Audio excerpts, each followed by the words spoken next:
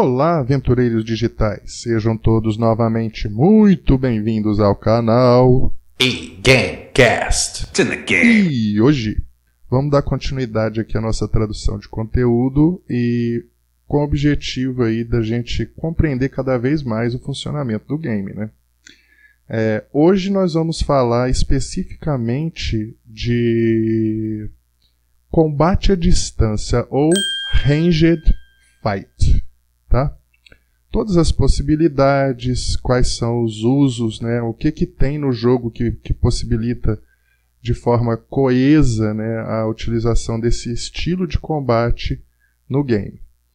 Para não perder o nosso hábito, Vamos colocar aqui o nosso glossário para que vocês entendam as terminologias, todas as coisas que são relevantes aí na construção dos talentos, né, e entendimento do funcionamento deles. Quando se trata de combate à distância, gente, não tem assim, é igual nos outros que eu já, já coloquei, um, um, caminho muito específico, não, sabe? Uma ordem concreta de, de talentos, não. Apesar de existir, sim, os pré-requisitos da aquisição de um ou de outro, mas é, o mais importante que eu acho que a gente tem que falar sobre essa questão agora é o seguinte: qual dos tipos de, de combate à distância você vai escolher? Então eu vou dar uma lida aqui rapidinho nessa, nessa especificação do Ranger Power para a gente entender aqui. O Ranger Power foi introduzido na atualização 23. Tem efeito semelhante ao Spell Power e aumenta o dano direto da arma, além de certos efeitos estáticos de aprimoramentos. O poder de combate à distância é obtido a partir de certos aprimoramentos, alguns destinos épicos e alguns talentos e saques. Esta classificação aumenta os ataques à distância pela seguinte fórmula: 100 mais o rating dividido por 100. Exemplo: um personagem com 20 de poder de alcance que causa 100 de dano com uma arma causará 120 de dano. A fórmula para potência negativa 100 dividido por 100 menos poder de ataque. Aí no Power, né, Ranger Power, é falado na fórmula aí sobre rating, tá? É, no, então, gente, estou colocando aqui o que, que é, uma, é, a tradução de rating né, e as utilizações dela em vários sentidos. Tá? Vocês dão uma pausa aí.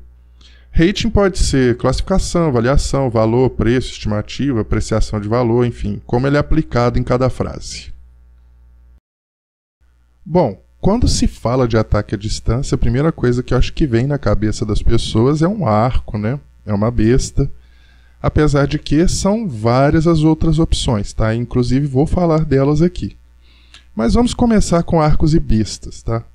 Um arco ou uma besta são armas de longo alcance que disparam flechas ou virotes. As armas desse tipo incluem as que tem no jogo, gente.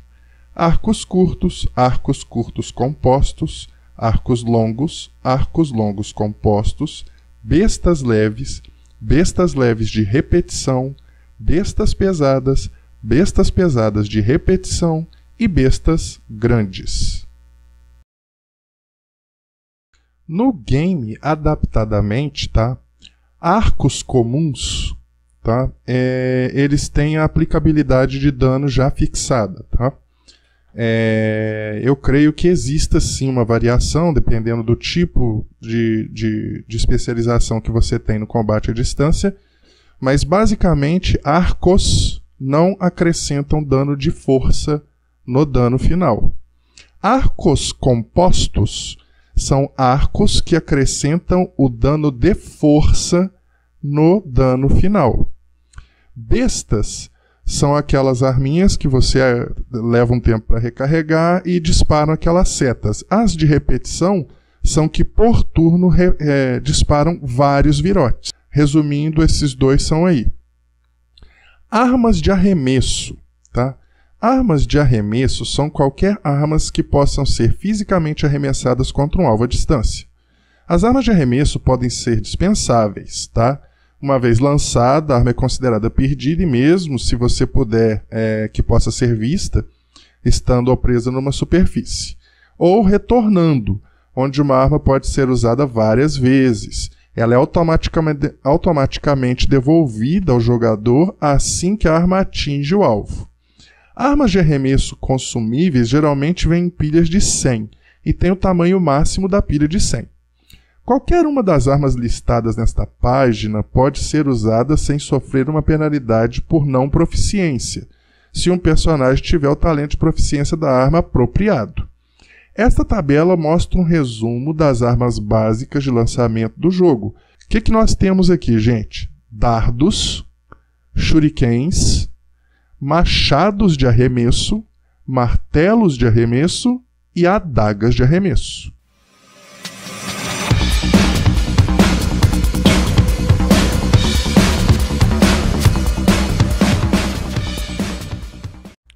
Como eu disse, não existe assim uma, uma ordem muito específica, né, na questão dos, dos, dos talentos de, de uso de armas à distância, não.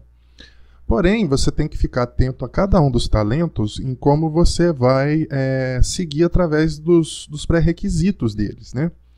Uma coisa que todo mundo geralmente faz quando vai fazer o tipo de combate à distância, principalmente com arcos ou até mesmo com bestas, é começar pelo point blank shot. Por quê? Porque o point blank shot, ele geralmente é pré-requisito para outros talentos de ataque à distância, tá? Personagens que têm classes em que ah, algumas das suas proezas são de, de ataque à distância, como os Rangers, por exemplo, eles não ganham o point blank shot, mas alguns talentos eles ganham na build mesmo que não atenda os pré-requisitos. Porém, você só tem que ficar atento a isso na hora de, de fazer a escolha dos seus talentos a cada três níveis, para não ter que repetir talento de acordo com a árvore do personagem. Então vamos ver aqui, ó, o Point Blank Shot, que seria tiro a queima-roupa, tá? É, uma, é um talento passivo, tá? Quando você escolhe, você ganha um de bônus, né? É, para acertar com ataques de longo alcance em 15 metros. E as suas armas de longo alcance causam um weapon damage a mais. Uma arma que causa um D6 de dano por acerto, ao invés disso, causará 2D6 de dano por acerto. Enquanto que uma arma que causa 2D8 de dano por acerto, ao invés disso, causará 4D8 de dano por acerto. Isso afeta os dados básicos associados à arma a qualquer momento em que eles não são rolados, incluindo, incluindo acertos críticos. Enquanto empunha arcos longos e curtos, você ganha mais um de alcance de ameaça crítica. O pré-requisito para tê-lo é nenhum. Tá? Então agora vamos ver os outros aqui rapidamente, ok? O que, que tem lá de, de possibilidade? Por exemplo, Bowstrand, ou Força do Arco, né, passiva. Você pode usar o bônus de força para danos em arcos longos e curtos. A maioria dos arcos longos e curtos usa naturalmente o seu bônus de destreza para causar dano. Com este talento, você passará a usar força se ela for maior. Os pré-requisitos para tê-lo são Point Blank Shot, Weapon Focus Ranged Weapons, bônus base de ataque mais 4, especialização de armas de longo alcance, ou ataque poderoso, ou experiência em combate, ou arco e flecha Zen. Depois nós temos aqui também, para lançamento né, de, de armas de arremesso, o Brutal Throw, que no caso é lance brutal, né, passiva. Você também usa o bônus de força ao invés de destreza para determinar, determinar o bônus de ataque com armas de arremesso se ele for maior. É, o pré-requisito para tê-lo é força 13 e o bônus base de ataque mais 1, ou seja, você já pode escolher ele no primeiro nível. Tá? É, tiro preciso ou precise shot, tá? passivo com postura de ataque, ou seja, quando você escolhe ele, você ganha uma espécie de stance. O que, que significa? Que quando seus ataques, você está dando ataque à distância e fica parado, depois de um tempo, esse, ele vai escalonando e aí vai aumentando os seus danos. Os seus ataques à distância direcionados agora passarão por inimigos, por amigos e inimigos para atingir o seu alvo, tá? Tendo este talento, você, por exemplo, está mirando um personagem lá no fundo e tem personagens na frente, o seu tiro vai passar esses personagens que estão aí e vão acertar o que você está mirando lá atrás. Este talento também concede a você a postura de distância ofensiva ou foco do arqueiro, que permite que você cause mais dano progressivamente, que foi o que eu falei no início. Tá? Você tem também Quick Draw, que no caso é saque rápido. Permite que o personagem troque de arma ou armadura, e esse, esse também serve para questões de armadura, tá? Mas serve para quem utiliza armas de arremesso, tá? É, permite que o personagem troque de arma ou armadura mais rápido do que normalmente, do que seria capaz. Também aumenta a, a taxa de tiro de armas de arremesso, mas não de outras armas de longo alcance, ou seja, não serve para arcos e bestas, gente. Bônus base de ataque mais um é o pré-requisito. Depois você tem Rapid Reload, ou recarga rápida. Você carrega bestas mais rápido do que o normal. E aí existe uma taxa para cada uma das bestas aqui, tá? Vocês aí dêem uma pausa no vídeo e vejam, tá? Tem taxa para besta pesada, besta grande, besta dupla. A proficiência com bestas é necessário para ter este talento, tá? É, rapid Shot ou tiro rápido. Você dispara ataques de longo alcance mais rápido e recarrega mais rápido ao usar armas de longo alcance. Com arcos longos e curtos, você também ganha poder de combate à distância igual a uma vez e meia o seu bônus base de ataque. Os pré-requisitos são Point Blank Shot, Destreza 13. Shoot and Run, ou Tiro em Movimento, anula sua penalidade de jogada de ataque por disparar armas de longo alcance enquanto se move. Também dá mais 6 de Ranger Power, gente. Ou seja, o que, que esse talento aqui faz? Quando a gente está tirando a distância com arcos, bestas, eu acho, eu acho que com bestas também. Se você não está parado, você recebe uma penalidade de menos 4 ou menos 6, se eu não me engano, é, no seu ataque total. Tá? Tendo esse, esse shut and run, esse, essa penalidade some. Tá? O pré-requisito é point blank shot, mobilidade, destreza 13, bônus base de ataque mais 4. É, outro é Shuriken Expertise ou experiências com Shuriken. Tá? Você é habilidoso no uso de Shuriken e tem chance de lançar um adicional por lance. A porcentagem de chance de lançar uma Shuriken adicional é igual à sua destreza. Este também é um talento racial concedido aos Drows, no primeiro nível, independente da classe. Os pré-requisitos para tê-lo são destreza 13, 1D, proficiência Shuriken ou meio-elfo diletante ou monge. Simple Troll Weapon, expertise ou experiência com armas simples de arremesso. Você é habilidoso no uso de armas de arremesso simples, arremesso de adagas, dardos. Ao usar uma, você ganha um tiro duplo igual à sua destreza. Os alquimistas podem selecionar este talento como um de seus talentos bônus de alquimista. O pré-requisito para tê-lo é destreza 13. E por fim aqui, gente, tem Zen Archery, ou arquearia Zen, tá? Que no caso faz o quê? Você pode usar o seu bônus de sabedoria ao invés do bônus de destreza para determinar, determinar o bônus de ataque com armas de mísseis de longo alcance, ou que for maior. Não se aplica a armas de arremesso, tá? Não serve para arremessar facas, arremessar é, martelos, nada disso. Você trata arcos longos e curtos como se fossem armas Ki. Sabedoria 13 e bônus base de ataque mais um são os pré-requisitos para se ter este talento.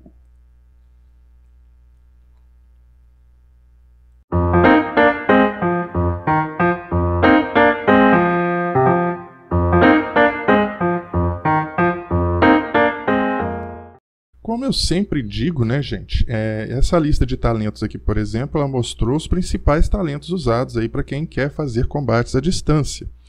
Porém, existem muitos outros que eu não coloquei aqui, eu acho até que eu deveria ter colocado, mas que são é, potencializadores desse tipo de combate, tá?